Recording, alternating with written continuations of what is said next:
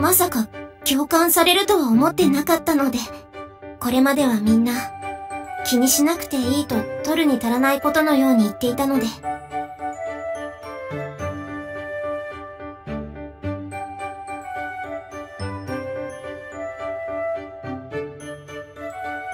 そんなことは、大丈夫です。約束します。今後、その件についての発言を、セクハラとは感じません。だって、谷風さんにとっては、一大臣なのでしょ？なので、謝らないで堂々としていてください。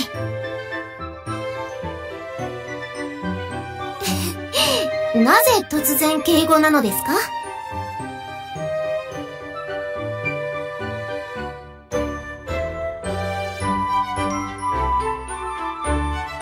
では、改めて、そんな同志である谷風さんに、私から一つ質問をいいでしょうか？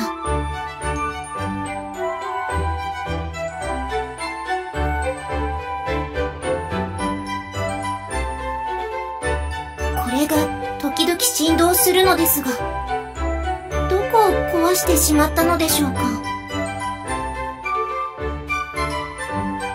ということは、故障ではないはあ、よかった。お借りしてるものを壊してしまったのかと、生きた心地がしませんでした。すごいですね。ゲームに合わせて動くとは。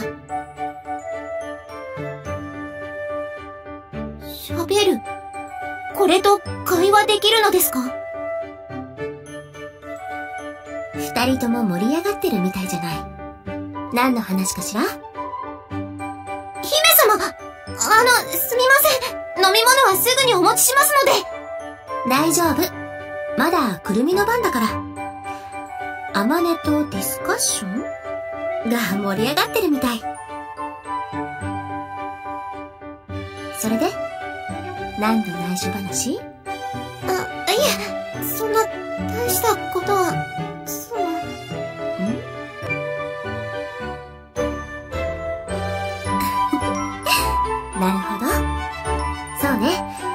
夏休みは長いんだしまた集まりたいわね。